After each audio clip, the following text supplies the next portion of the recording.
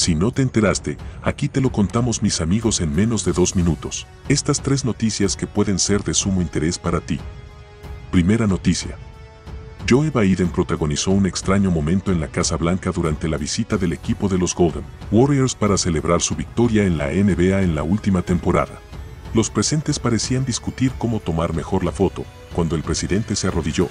No voy a hacer esto, dijo la vicepresidenta Kamala Harris. Segunda noticia. El Pentágono envía armas estadounidenses almacenadas en Israel a Ucrania. Los funcionarios israelíes habían expresado inicialmente su preocupación de que la medida pudiera dañar sus relaciones con Rusia. El Pentágono está aprovechando una gran pero poco conocida reserva de municiones estadounidenses en Israel. La reserva proporciona armas y municiones para que el Pentágono las use en los conflictos del Medio Oriente.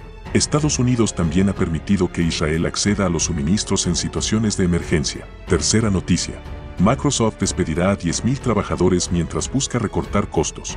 Los recortes de empleo, que representan menos del 5% de la fuerza laboral de la compañía, son los más grandes en aproximadamente 8 años.